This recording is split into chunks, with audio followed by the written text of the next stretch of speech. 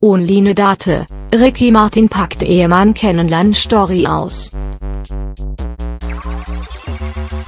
Es war wohl Liebe auf den ersten Blick. Ricky Martin, 46, und sein Partner Jan Josef haben Anfang des Jahres geheiratet. Nach ihrer Verlobung im November 2016 haben die beiden Männer es nun amtlich gemacht und sind offizielle Leute. Allerdings sei das nur der bürokratische Teil gewesen. Die große Party sei noch in Planung.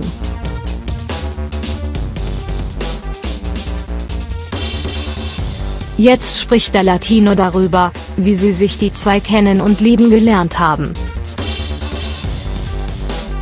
Ihre Liebe begann online. Im Interview mit Attitude gestand der Musiker jetzt, dass es beim ersten Date direkt um ihn geschehen war. Als ich ihn das erste Mal sah, dachte ich nur, ich werde diesen Mann heiraten. Bis es zu diesem Treffen kam, habe es aber ein Weilchen gedauert.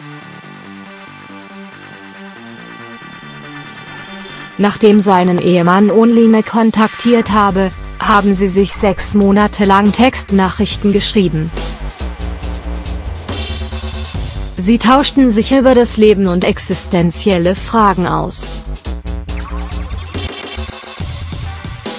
Ihr Kennenlernen sei unglaublich romantisch gewesen. Trotz großer Gefühle lebt das Paar nicht monogam.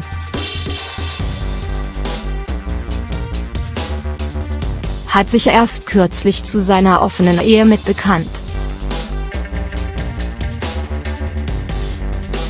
Seiner Meinung nach sollte dieses Beziehungsmodell nicht vorschnell verurteilt werden.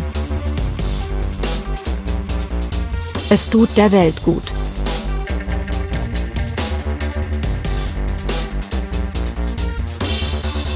Es tut mir als schwulem Mann mit Kindern gut, erklärte er im Interview mit Vulture.